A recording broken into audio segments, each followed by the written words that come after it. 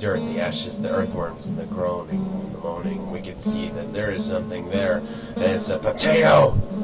Yes, the religious potato, the potato in which we all crave to have in our stews, our stews, our soups, our masculine practices, all the things that we know as society. We can really, really get along and find that we can really find, that we can really find, really find, really blah.